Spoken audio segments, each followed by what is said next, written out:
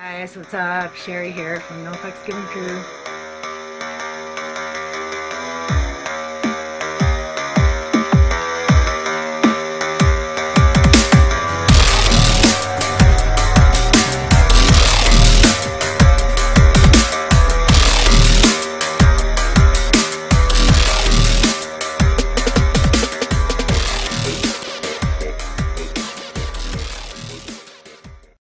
Sherry here from Fucks Given Crew. How's it going? So I just wanted to let you guys know that I'm going to be selling my cards. So I'm going to be doing it privately.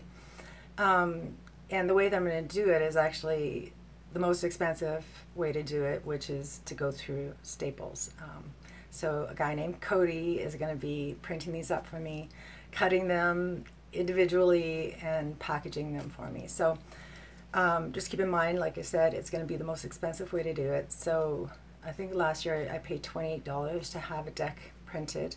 So that doesn't include the box, the instructions, and shipping and handling as well. So yeah, I'm not going to be making that much money on it, unfortunately. So, uh, but there seems to be a lot of towers happening right now, and so I'm kind of desperate at this point. Um, also, I wanted to say thank you to Kim for purchasing the deck, my original deck. Um, I have um, an example of the deck that I'm going to be selling, except for it'll have the card description or the card names on the top and the numbers and stuff like that. Um, this deck doesn't have it, so uh, and also, paintings are still here, so if anybody's interested, that's Kurt Cobain, Chris Cornell, and Scott Weiland there. Um, so you don't have to buy them all together. I, am happy to sell them individually. So if you're interested, let me know. Uh, my email is below. Uh, so for the the cards, um, there were quite a few people that were bidding on the original deck. So I'm so sorry you guys didn't get the deck, and I'm so like, oh my god, my heart is just full of love and appreciation and gratitude for for you guys bidding on the cards in the first place. That just it gave me so much confidence and um, yeah, thank you guys. So you guys will have the the first um, decks. Um, and anybody who contacted me through email as well, I'm happy to give you guys first choice as well.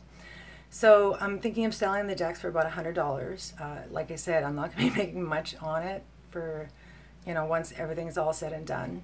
So yeah, let me know. Email should be below. And I love you guys and enjoy this week's Twin Flame reading. Okay, cheers. Bye.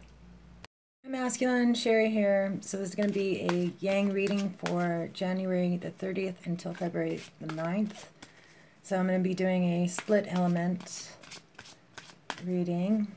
And I'm going to try and keep it as short as possible because that twin flame reading was quite long. Okay, I'll pull the cards first. So I'm using Doreen Virtue's Romance Angels. Actually, I'll just keep that. Okay, so the overall energy, let your friends help you.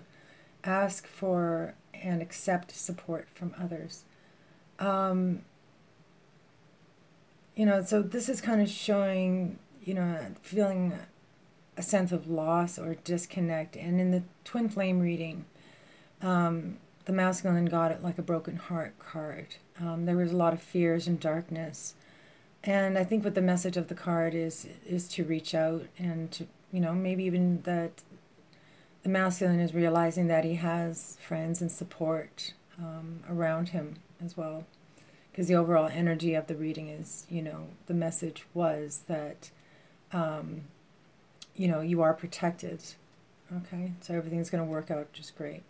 So this is a chance for you to to learn how to accept accept help from other people. Okay, so emotionally, keep an open mind. Your soulmate may differ from your usual type in expectation. So emotionally, um, there's a sense of questioning or expecting something. That was a, a theme as well in the twin flame reading was that he's worried that things weren't going to turn out the way he had thought they will. They will. So he, he's focused too much on the future and thinking too much about the past. But emotionally, you know, he he's trying to keep an open mind about things. So I'm just going to pull a random card from my deck here. I don't feel like shuffling them. So the Three of Cups. So this is friendships, bonds, um, you know, people coming together in celebration. So emotionally, he he feels that he has friends around him. A repeated theme. Um, and although there's expectations, he's trying to keep an open mind. Okay, so what is he thinking about mentally? Retreat. It's time to disconnect from the world. So he mentally he's making plans to um, you know go somewhere quiet with the feminine or you know there it is a couple that are retreating together. So mentally he he's he wants to retreat and disconnect from the world and it seems to me like he's making plans to do that. The sun card so this most positive card in the deck and it's a big yes. So mentally he's very happy um, about thinking about retreating.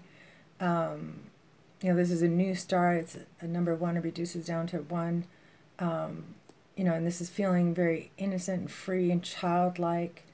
So, in this could even mean that he's on vacation right now or something like that. But yeah, so mentally, maybe he's making plans for a retreat. Okay, so what is spiritually happening? Attraction. The feminine got this card. You attract romantic love by enjoying this moment fully. So, he is also um, feeling this attraction with the, the feminine.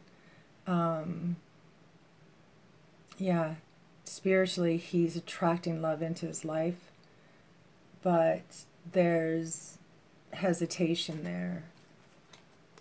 Five of Swords. Okay, so this is all about conflict, finger pointing. Um, even though there's some negative energy surrounding him, he's in he's trying to be in the now, be in the moment, and not be affected by the negative thoughts, um, and think about the the future. But that's the whole problem: is you don't want to think too far ahead, right? So in the the 3D reality, we have religious factors. Your love life is influenced by your religious upbringing and spiritual path.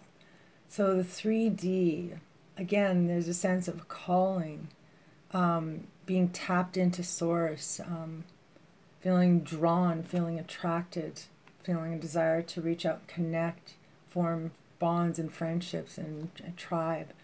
So in the 3D reality, I think his mind is shifting or has already shifted from material importance to spirituality.